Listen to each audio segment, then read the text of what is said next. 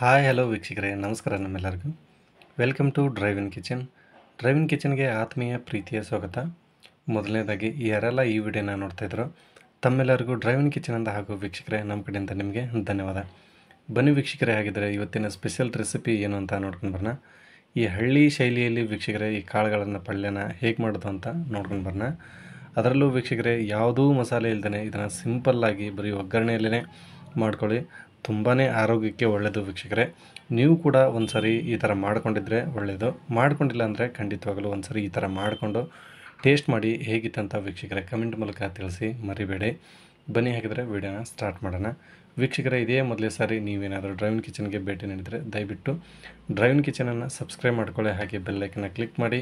All ಅಂತ select ಮಾಡಿ. ವೀಕ್ಷಕರೇ, ನಾನಿಲ್ಲಿ ಮೊದಲನೇದಾಗಿ ಖಾರಕ್ಕೋಸ್ಕರ ಒಂದು ಮೂರು ಹಸಿ ಮೆಣಸಿನಕಾಯಿ ಈ ಥರ ಚಿಕ್ಕದಾಗಿ ಕಟ್ ಮಾಡಿ ಇಟ್ಕೊಂಡಿದ್ದೇನೆ. ಸ್ವಲ್ಪ ಕರಿಬೇವಿನ ಎಲೆಗಳು, ಅದು ಕೂಡ ಇಷ್ಟ ಆದರೆ ಸಾಕು.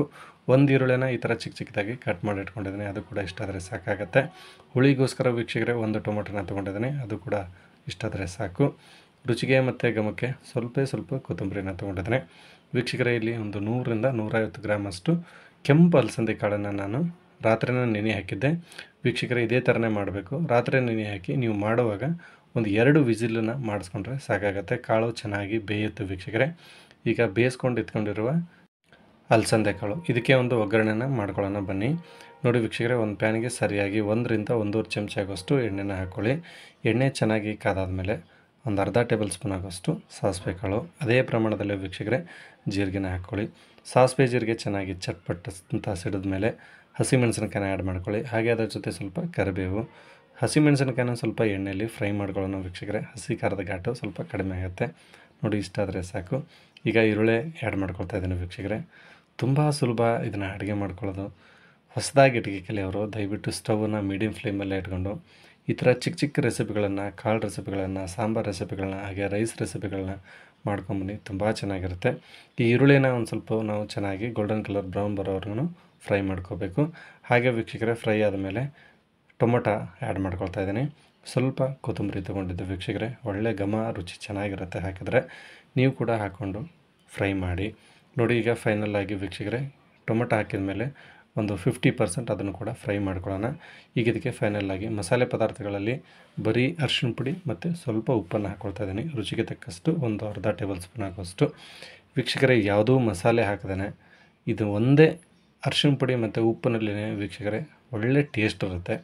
ತುಂಬ ಚೆನ್ನಾಗಾಗುತ್ತೆ. ನೀವು ಕೂಡ ಒಂದು ಸರಿ ಇದೇ ಥರ ಮಾಡ್ಕೊಳ್ಳಿ. ಆರೋಗ್ಯಕ್ಕೆ ತುಂಬಾ ಒಳ್ಳೆಯದು ಕಾಳು ಪಲ್ಯಗಳು. ನೋಡಿ ವೀಕ್ಷಕರೇ, ಈಗ ಫೈನಲಾಗಿ ಮಸಾಲೆ ಇಷ್ಟು ಫ್ರೈ ಆದರೆ ಸಾಕಾಗುತ್ತೆ. ನಾನೀಗ ಕಾಳನ್ನು ಬೇಯಿಸ್ಕೊಂಡು ಒಂದು ಪ್ಲೇಟಿಗೆ ಎತ್ತಿಟ್ಕೊಂಡಿದ್ದೆ. ಅದನ್ನು ಕೂಡ ಈಗ ಈ ಒಗ್ಗರಣೆಗೆ ಆ್ಯಡ್ ಮಾಡ್ಕೊಳ್ತಾ ಇದ್ದೀನಿ. ವೆರಿ ಸಿಂಪಲ್ ವೀಕ್ಷಕರೇ, ನೀವು ಇದನ್ನು ಹಾಗೆ ಕೂಡ ತಿನ್ಬೋದು. ಇಲ್ಲಾಂದರೆ ನೀವು ಚಪಾತಿ ಅಥವಾ ರೈಸ್ ಜೊತೆ, ರೊಟ್ಟಿ ಜೊತೆ ಇನ್ನೇನಾದರೂ ವೀಕ್ಷಕರೇ ಹಾಗೆ ಸೈಡ್ಸ್ನ ನೀವು ಟೇಸ್ಟ್ ಮಾಡ್ಬೋದು ತುಂಬ ಟೇಸ್ಟಿಯಾಗಿರುತ್ತೆ ನೋಡಿ ಫೈನಲಾಗಿ ಈಗ ಅಲಸಂದೆ ಕಾಳುಗಳ ಪಲ್ಯ ರೆಡಿ ಆಯಿತು ವೀಕ್ಷಕರೇ. ಇದನ್ನು ನಾವು ಒಂದು ಪ್ಲೇಟಿಗೆ ಸರ್ವ್ ಮಾಡಿಕೊಂಡು ಟೇಸ್ಟ್ ಮಾಡೋಣ, ಬನ್ನಿ. ನೋಡಿ ವೀಕ್ಷಕರೇ, ನೋಡೋದಕ್ಕೆ ಖಂಡಿತವಾಗಲೂ ತುಂಬ ಚೆನ್ನಾಗಿ ಕಾಣಿಸ್ತಾ ಇದೆ. ಇದರ ರುಚಿ ಕೂಡ ಅಷ್ಟೇ ಚೆನ್ನಾಗಿರುತ್ತೆ. ಮರಿದೇನೆ ನೀವು ಕೂಡ ಒಂದು ಆದರೂ ಈ ಥರ ಮಾಡಿಕೊಂಡು ಟೇಸ್ಟ್ ಮಾಡಿ ಹೇಗಿತ್ತು ಅಂತ ಕಮೆಂಟ್ ಮೂಲಕ ತಿಳಿಸಿ. ವೀಕ್ಷಕರೇ, ಈ ವಿಡಿಯೋ ನಿಮಗೆ ಇಷ್ಟ ಆಗಿದೆ ಅಂತ ನಾನು ಭಾವಿಸ್ತಿದ್ದೀನಿ ವಿಡಿಯೋ ಇಷ್ಟ ದಯವಿಟ್ಟು ಲೈಕ್ ಮಾಡಿ. ಹಾಗೆ ನಿಮಗೋಸ್ಕರ ಇನ್ನೂ ಹೆಚ್ಚಿನ ರೆಸಿಪಿಗಳನ್ನು ನಾವು ಡ್ರೈವಿಂಗ್ ಕಿಚನಲ್ಲಿ ಅಪ್ಲೋಡ್ ಮಾಡೇ ಮಾಡ್ತೇವೆ. ಅದಕ್ಕೆ ನಿಮ್ಮ ಸಹಕಾರ, ಸಪೋರ್ಟು ತುಂಬಾ ಮುಖ್ಯ. ವೀಕ್ಷಕರೇ, ಇನ್ನೂ ನೀವೇನಾದರೂ ಡ್ರೈವಿಂಗ್ ಕಿಚನನ್ನು ಸಬ್ಸ್ಕ್ರೈಬ್ ಆಗಿಲ್ಲ ಅಂದರೆ ದಯವಿಟ್ಟು ಸಬ್ಸ್ಕ್ರೈಬ್ ಮಾಡ್ಕೊಳ್ಳಿ. ಹಾಗೆ ಬೆಲ್ಲೈಕನ್ನ ಕ್ಲಿಕ್ ಮಾಡಿ, ಆಲ್ ಅಂತ ಸೆಲೆಕ್ಟ್ ಮಾಡಿ. ಈ ಥರ ಮಾಡಿದ್ರೆ ಡ್ರೈವಿಂಗ್ ಕಿಚನಲ್ಲಿ ಅಪ್ಲೋಡ್ ಆಗೋ ಪ್ರತಿಯೊಂದು ವಿಡಿಯೋ ಮೊದಲೇ ನೋಟಿಫಿಕೇಷನ್ ನಿಮಗೆ ಬರುತ್ತೆ. ಈ ವಿಡಿಯೋ ನೋಡಿದ ಪ್ರತಿಯೊಬ್ಬರಿಗೂ ವೀಕ್ಷಕರೇ, ಡ್ರೈವಿಂಗ್ ಕಿಚನಿಂದ ಮತ್ತು ನಮ್ಮ ಕಡೆಯಿಂದ ಧನ್ಯವಾದ.